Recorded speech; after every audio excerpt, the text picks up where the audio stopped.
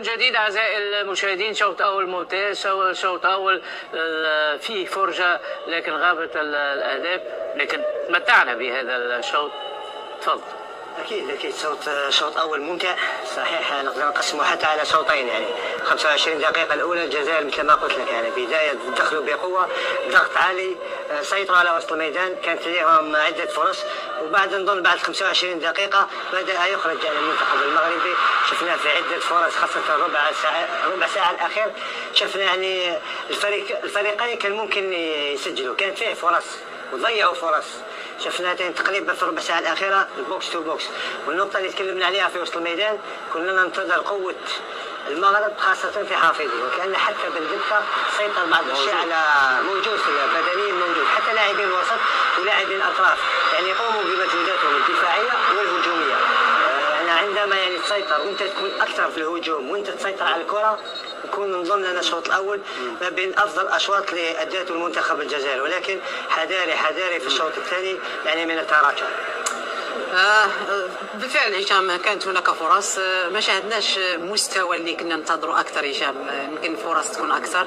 أنا يمكن ربع ساعة ولا 20 دقيقة المغرب ما دخلش في الماتش بشكل جيد. هناك توتر على بعض اللاعبين. هناك عدة تمريرات خاطئة خصوصا ناهيري الحداد جبران النعيري كذلك هناك حتى بالنسبة للكارتي ضيع العديد من الكرات الفريق يؤدي بشكل افضل عنده اظن ان ضغوطات المباراة. هناك توتر تحس اللاعبين متوترين أكثر. في عمليات هذه عندما يضيعوا الكرة بسهولة. لكن شوط ثاني نتوقع يكون الأداء أفضل لأن عنده الحلول خصوصا يجب يكون هناك تغييرات. أظن رحيمي لازم يكون يدخل مع مع بدايه الشوط الثاني أو مع مجريات الشوط الثاني لأنه دائما يعطيك الحل. خصوصا لعب سريع ولاعب مراوغ ويخلق لك الفرص. يعني يكون هناك مساحات. شو دائما الجهة اليسرى؟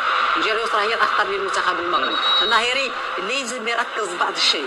الناهيري لو بيركز بعض الشيء اليوم في تمريراته والتمريرات الاخيره ممكن يسجل. ودائما الكرة الثالثه هي نقطة قوة المغرب. هنا التدخل الجيد للحارس آه، بورحي. وأظن هذه ممكن الكرة الثابته كانت دائما تشكل خطورة على المنتخب المنتخب الجزائري. الحداد ما شاهدهاش بشكل أفضل.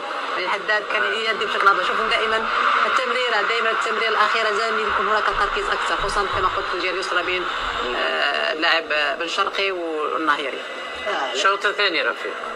البداية بنفس الطريقة يبقى يعني على نفس نفس العقلية ونفس يعني الدفاع. أول شيء الدفاع المتقدم الضغط على أمل الكرة يعني ما تعطي لهمش حلول يعني خاصة اللاعبين وسط الميدان لأنه يعني الحلول تبدأ من وسط الميدان. لو تركت حافظي لو تركت الكارتي يصنعوا اللعب وتركت لهم تركت لهم مساحات راح تكون عندهم حلول في الهجوم. لأن لو قصيت وقطعت الكرات اللي تمشي من الوسط ما يوصلوش إلى الهجوم. هذا اللي عملناه في الشوط الأول خاصة في 25 دقيقة. ولكن علينا إحنا لاعبين أطراف مزيانين خاصة بالليلي.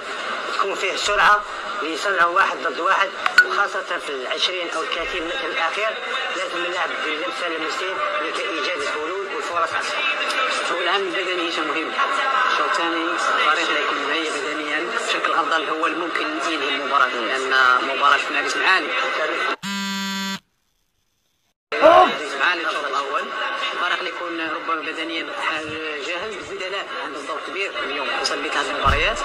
نظن عموت عنده عدة حلول. خصوصا من مستوى الهجوم. تكلم عن حفيظي تكلم على لاعب بركاوي تكلم عن العديد من اللاعبين اللي ممكن يدخلوا ممكن يغيروا يغيروا من من من, اتمنى الثاني يكون تنتظر أيضا تبديلات لا ما نظنش تعليمات أكثر ونصائح أكثر خاصة من الجانب التركيز ومن جانب يعني البدل يعني إبقاء على نفس الوتيرة. صحيح الشوط الثاني راح تكون فيه آه تنقص يعني من الجهد البدني لأن قاموا بشوط أول كبير من حيث الريتم مناسق المباريات. الشوط الثاني راح يكون البدايه تكون قوية ولكن راح تكون يعني في ال 20 دقيقة الأخيرة تكون في بعض التغييرات اللي لازمة لأن عندنا بعض اللاعبين خاصة آه لاعبين حلول أكثر في الهجوم. في غياب ونجاح نظن حاليا آه قاموا بشوط محترم شوط جيد ودخلوا في المباراة جيدا. نظن الشوط الثاني نتمنى يكون أفضل ولما لا التسجيل. لأنه لو سجلت تغير كل شيء تغير في تبديل في المنتخب الجزائري. دخول الدراوي نظن مكان دراوي مكان زروقي. نظن ممكن دراوي يلعب على الجهة اليمنى لأنه متعود يلعب هذه المباراة التكتيكية. بامتياز تنتهي بالتعادل في وقتها القانوني بهدف مقابل الهدف الآن الوقت بدل ضايع هو اليوم يوم ال extra time اليوم مصر والأردن وقت إضافي. الآن المغرب والجزائر وقت وقت إضافي. طيب نتمتع أكثر لأن في ملعب يمين خرق العاده استوديو حلو صح ولا لا؟ إذا نزيد نص ساعه حلو. يعني في في ملعب في ملعب الثومامة. فهي فرجه فرجه فرجة ممتعة. صح ولا طيب خلينا نعود إلى الشوط الثاني ونعود إلى نتيجة التعادل. أين المنتخب المغربي؟ لم يخسر الوقت للعودة في هذه المباراة. هشام صحيح أظن بعد ضربه الجزاء كان هناك هدف تعادل مباشرة دقيقتين بعد بعد هدف اللاعب الجزائري إبراهيم إبراهيمي. ثم جاء هدف التعادل عن طريق اللاعب النهيري نظن شوط شاهدنا قوة بدنية شفنا نسق عالي أحد أفضل المباريات البدنية رتم عالي فرص تكتيكية كذلك تقارب المستوى. وقلنا أن دائما المباراة تلعب على الجزئيات والشيء اللي استغله المنتخب المغرب كما قلت هي الكره الثابته دائما خطيرة. من كرة ثابتة ضعف الرقابة وسجل هدف التعادل اللاعب النهيري كان كان يعني حر. كره دائما كرة ثابته تشكل خطوره على على منتخب الجزائر. كان هناك صراع كبير على وسط الملعب. شفنا كذلك هناك بعض العيات على بعض اللاعبين. خصوصا مع نهايه الشوط الثاني يعني كان نسق كما قلت علي. الآن هي كما قلت الاكسترا تايم فالجاهز بدنيا. ولا اللي حاضر بدنيا. اللي عنده في رجليه أكثر من 90 دقيقة الكلمة ستكون. لكن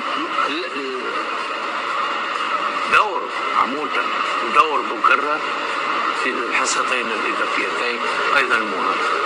لا أكيد مهم. دورهم مهم منذ بداية المباراة إلى اخرها وخاصه في ال extra time ولكن المهم الجانب البدني مهم جدا.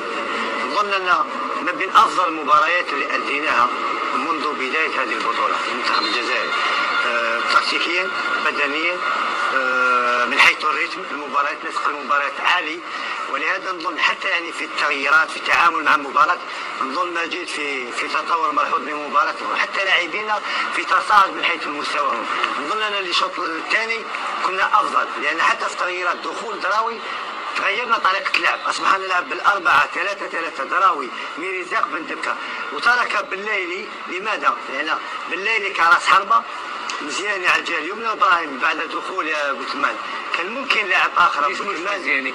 لأن بالليلي يتم إعفاءه من المجهودات أدواره الدفاعية ويستغل هجوميا لأن بالليلي في الواحد ضد واحد يصنع لك الفهم يكون عنده الكرة يصنع لك خطورة حتى اللاعبين حتى طريقة يعني المدافعين عندما يكون بالليل عندما يكون لاعب آخر مختلفة ومتغيرة ولهذا نظن شوط ثاني رائع. تقريبا 90 دقيقة جيدة كانت نفسها ولكن عندنا نقطة مشكلتنا اليوم منذ بداية المباراة إلى نهايتها كرات ثابتة كل كرة ثابتة شوط أول أو شوط ثاني فيه خطورة وفيه صعوبة. يا إما في التركيز يا إما في في الرقابة اللصيقة في في هذه الحالات عندما يكون عندك نقطة ضعف مثل هذه لازم تلعب ال zone يعني دفاع المنطقة ودفاع الرقابة يعني mix نظن يعني لو ركزنا أكثر لأن الجانب ال 15 دقيقة و 15 دقيقة ال extra time الجانب البدني مهم جدا وخاصه المعنوي تعيش كلمة أخيرة قبل ما نعود يعني نوصل في ال extra time هناك عياء هناك جهد بدني وبالتالي ستكون هناك مساحات.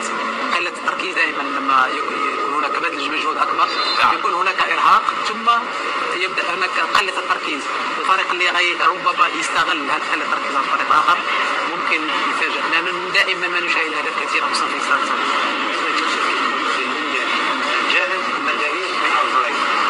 شكرا لرفيق الصيفي وشكرا ليوسف الشيبو المنتخبين على أرضية الميدان